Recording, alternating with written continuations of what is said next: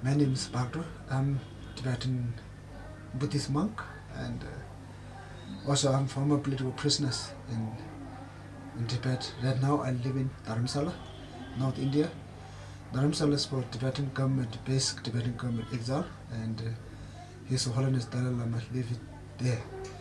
But my family, six million Tibetan people, my family. Tibetan, my home. Tibetan, my land. Tibetan, my house. Six million Tibetan people, my, my family.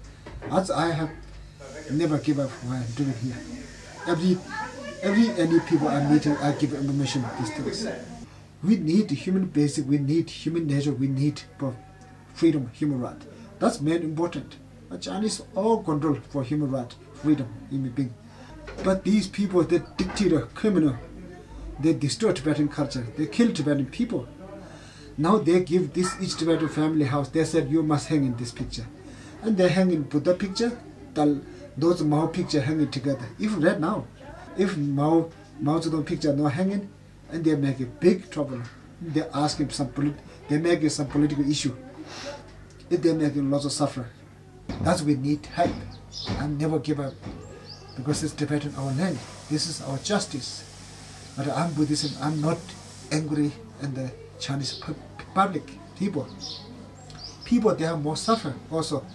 Not only Tibet people suffering, suffering their own people suffer. I also not uh, angry this Chinese police they beat me before. I also forgiveness because Dalai Lama give me teaching, give me information why I'm making change, my sadness. Then he teaching Buddhist teaching, special audience for me.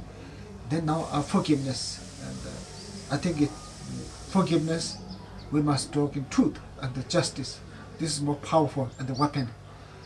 And that's the reason I wrote those books and uh, never give up. And that we need help. Thank you.